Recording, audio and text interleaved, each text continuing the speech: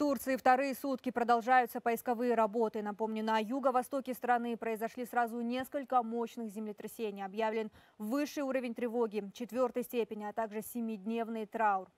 Президент Турции Реджеп Таип Эрдоган запросил международную помощь. Спасательные борта из Казахстана, Азербайджана, Грузии, Чехии и других стран уже находятся на территории Турецкой Республики. Какую помощь и поддержку оказывают казахстанцы, расскажет моя коллега Кунсая Курмет. Такие кадры, где дома складывались как карточные домики, ошарашили весь мир. Всему виной землетрясение, произошедшее в турецком городе Кахраман-Мараш магнитудой 7,6 баллов. Последствия толчков коснулись 10 провинций. Чуть позже в центральной части Турции произошло повторное землетрясение. Подземные толчки ощущались в Диарбакыре, Шанлаурфе, Анкаре и Адане. По официальным данным, на сегодня число погибших достигло 5000 человек, раненых больше 20 тысяч. Количество без вести пропавших пока неизвестно. Президент Турции заявил, что эта катастрофа стала крупнейшей в истории страны за последние сто лет. В тот же день глава государства Касым Жумартукаев выразил свои соболезнования Реджепу Таипу Ердогану и всему турецкому народу. Из Казахстана направлен спецборд, который прибыл в город Газиантеп пару часов назад. Группировка состоит из 41 человек личного состава. Входят сюда также, кроме спасателей Республиканского спасательного отряда, также сотрудники Центра медицины катастроф.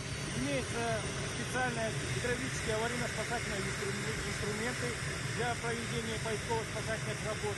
На борт специального самолета мы загрузили три единицы автомобильной техники.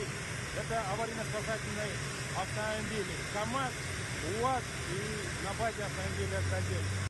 Пока тысячи людей находятся под завалами, спасательные отряды и добровольцы помогают искать выживших под обломками зданий. Поиски ведутся круглые сутки. Работу координирует турецкий президиум по управлению стихийными бедствиями. В Турции объявлен высший уровень тревоги. Чтобы узнать о текущей ситуации и о том, какую помощь оказывают казахстанцы, мы прибыли в турецкое посольство.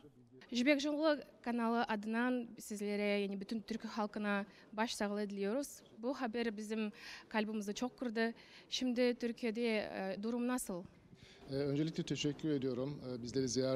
Спасибо большое, что от имени казахстанцев приехали выразить соболезнования братскому турецкому народу. Поступает много предложений о помощи от казахстанцев. Пишут письма, спрашивают, как они могут помочь. Некоторые даже готовы отправиться в Турцию. Это очень радует. Сейчас мы составляем список первой необходимой помощи. Мы хотим поблагодарить братьев-казахстанцев за готовность помочь. Список необходимой помощи мы опубликуем в официальных социальных сетях.